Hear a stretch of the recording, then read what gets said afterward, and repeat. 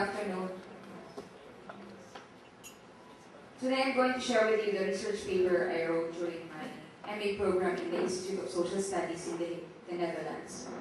My paper is about gender, production of subject positions and community health workers in the Philippines. I conducted this study from April to August 2007. I divided my presentation to the in three parts. Uh, first, some background of the research, uh, the key findings, and lastly, the conclusion.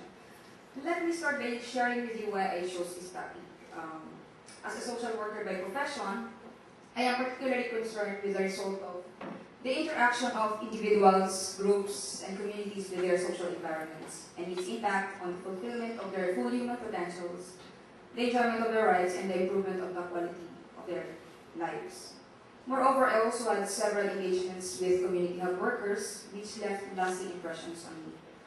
And before leaving for Hague in 2006, I was also able to work with them on a foreign-funded project on health, gender, and governance being implemented by a local NGO in Sorsogon. Community health workers are more popularly known as barangay health workers in the Philippines. I will use uh, CHW and BHW in my presentation.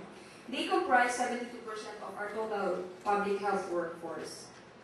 Republic Act 7883 or the Barangay Health Workers Incentives Act uh, defines them as persons who have undergone training programs under any accredited government and non-government organization and who voluntarily renders primary healthcare services in the uh, community have, after having been accredited to function as such in by the local health board. When I started doing this research, I asked why women and some men engage in community volunteer health work. I found it perplexing that poor people would willingly render community services without monetary remuneration when they could use their time to earn money for their families' material needs. Therefore, for um, four months, I asked myself, is community volunteer health work an issue of exploitation or empowerment? On one hand, I thought that they must be exploited because they engage in an unpaid work. Uh, Benería defines volunteer work as work whose beneficiaries must not be members of the immediate family. There can't be any direct payment. It is unpaid work by definition. And the work must be part of an organized program. Volunteer work is also one of the sectors where women's work is not properly accounted for in the national system of accounts, the same as household work, informal work, and subsistence production.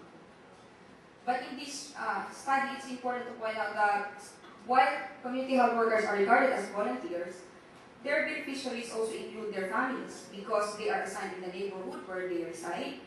They receive honoraria from the barangay or local government in addition to free medicine, some donations in kind, and other material and monetary benefits, while their work is presumed unremunerated. On the other hand, I also thought that women health workers are empowered because they participate in community activities. Finding out the reason why men choose to become volunteer health workers when they are expected to be breadwinners with their families is more compelling. So unsure and tired of all these debates going through my head, I decided to use the research paper to reframe the question and challenge my own assumptions. So in this research, I asked the following questions.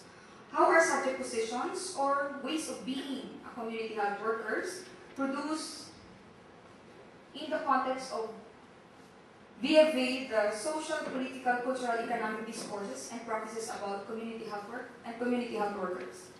Second, what are the spaces within which community health workers locate themselves as health volunteers and what strategies are used to enable these locations? Are there emancipatory and transformative potentials of these locations?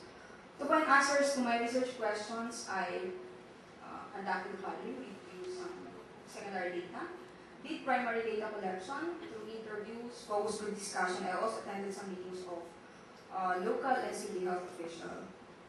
Throughout my research, I used feminist standpoint methodology, taking women, key informants' knowledge, the community health workers, about their situation as their starting point of the research.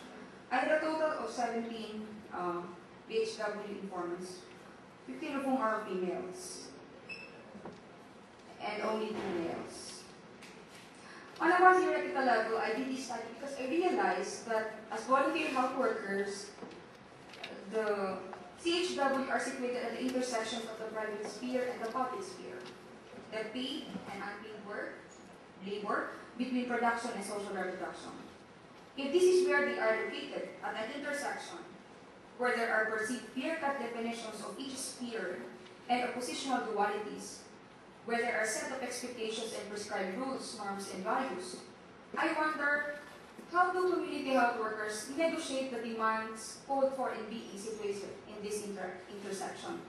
How do they position themselves individually and as a group in the different domains of their lives? The family and household, where they maintain social relationships and responsibilities as husbands or wives, fathers or mothers, or even grandmother or grandfather.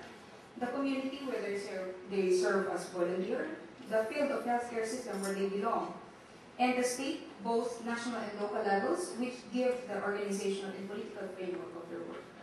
So in this research, I used the concept of subjectivity, agency, and subject positions to avoid simple empowerment and exploitation dichotomies, with which I started thinking about community health workers. Before I went to the field, my understanding of the concept of subject subject was agent, who is who has free will, who determines his or her place in life, or this is destiny and decides to be free. So with this, I expected to find uh, community health workers who are activists, who are organized, who are aware of their rights, who are empowered as they collectively fight against the system, which they perceive as opposing them. Paradoxically, this understanding of the agent is linked to the understanding of a victim, exploited victim or either either suffers or are turned active agents and fighters against the exploitation. So this is how I perceive uh, uh, workers when I went to the field, exploited, vulnerable, and unable to free themselves from the clutches of the powerful.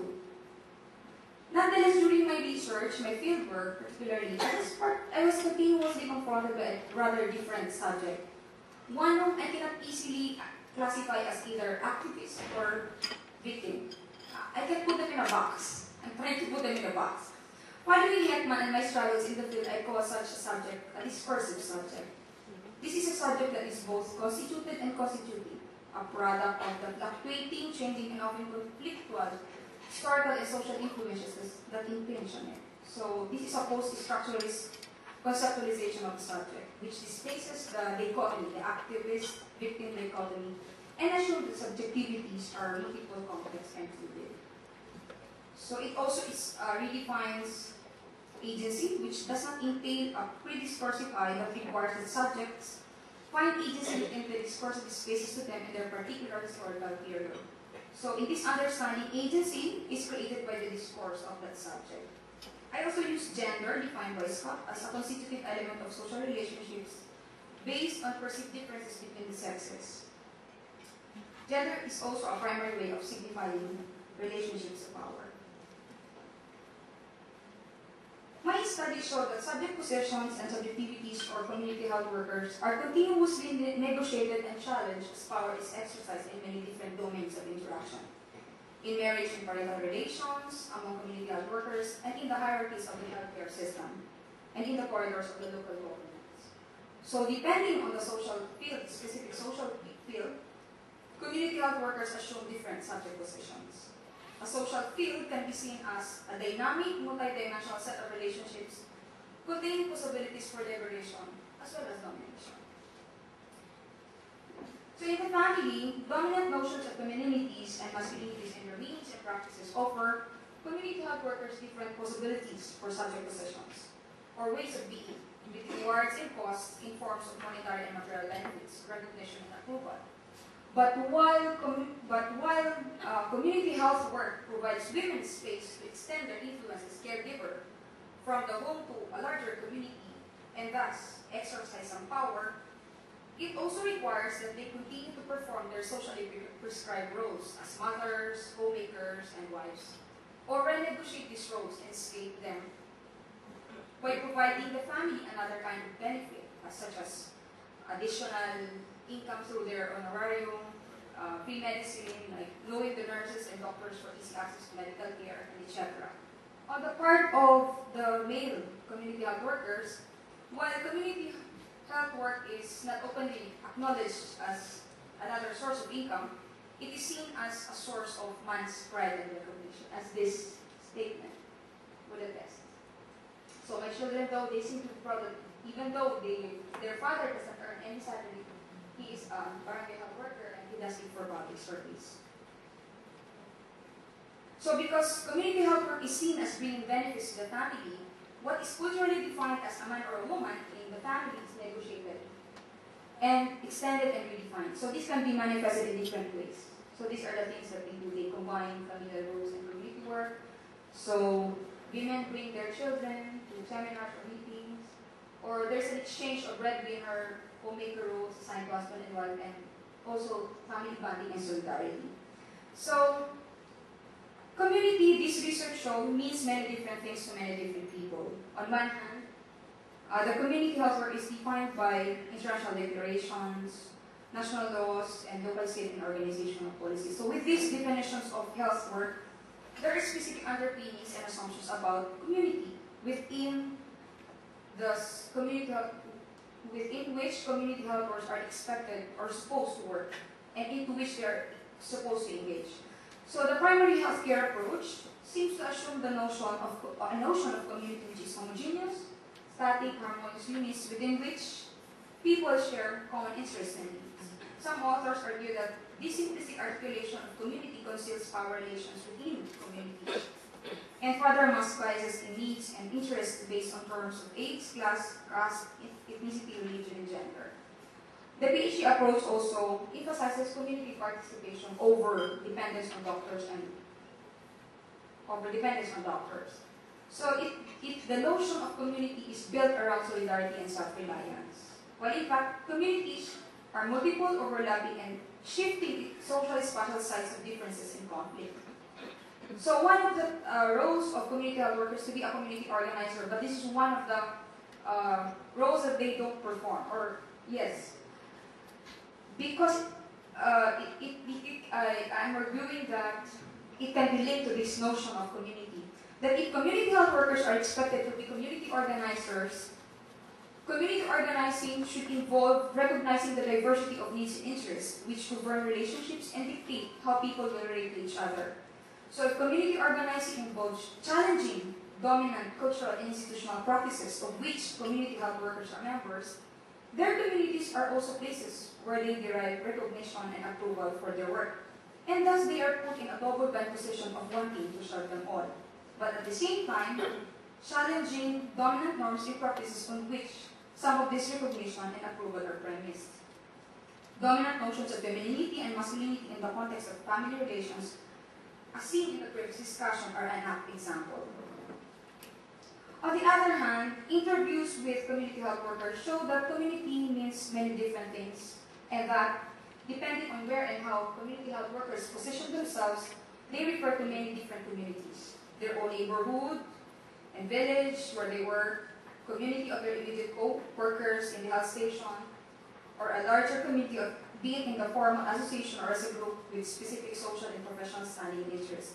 So, community means the healthcare system, the neighborhood, or the social uh, community health worker association.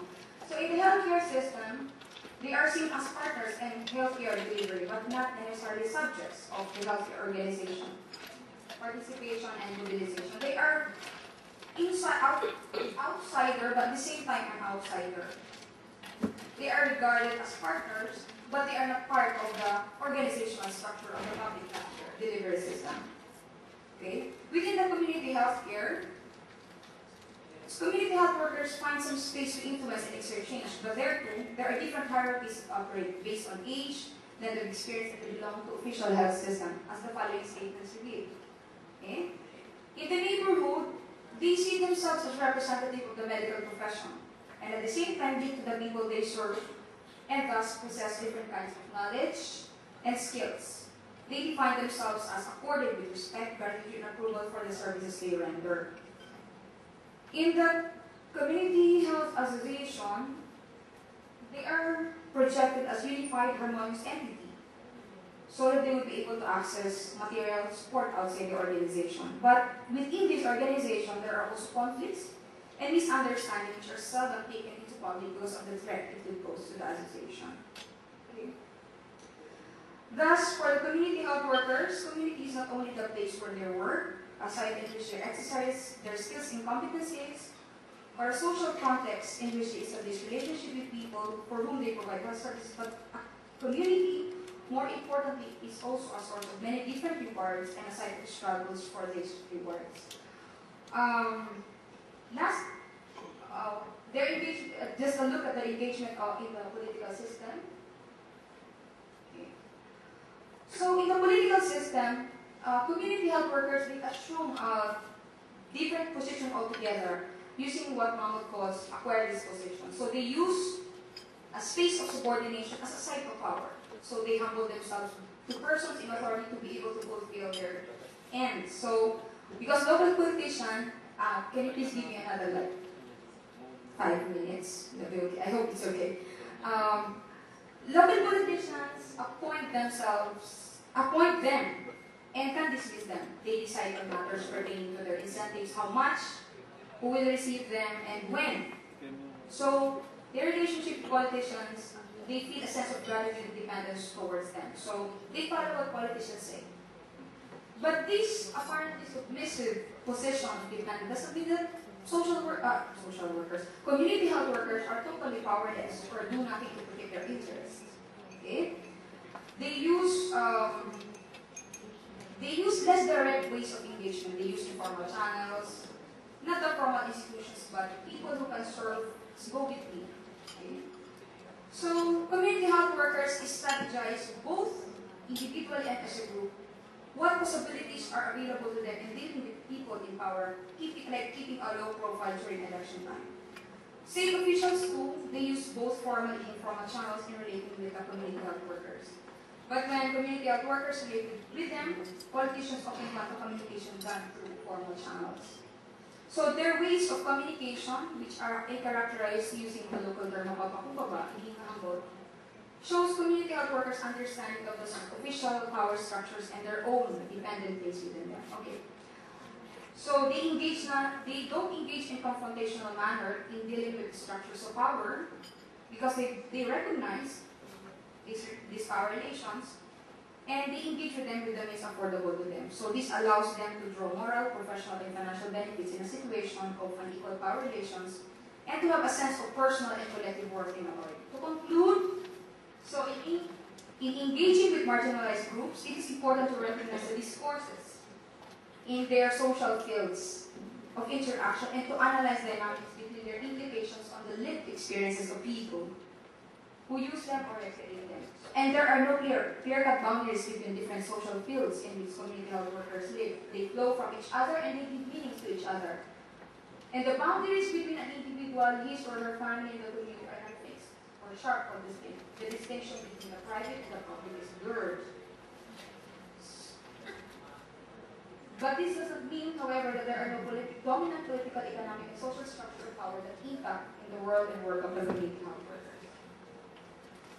Um, when I first the community health workers as a group, I thought, wow, these people can elect our next governor. I believe they can. But how and what will make it possible will depend on many things, not only on them. I started this research thinking about environment and exploitation economy. But I learned from the field that there is more to it than fitting, than merely fitting community health workers in eight categories of exploited victims and empowered agents and while I struggle to overcome my own assumptions and to find my own position in the different subjects of my research, I recognize the complexity and richness of their lived experiences, and I understand that plurality and multiplicity of sources and resistance and cooperation are necessary for substantial social transformation for the lives of community networks in the Philippines. Salamat po, Diyos mga Thank you very much, Lynn, for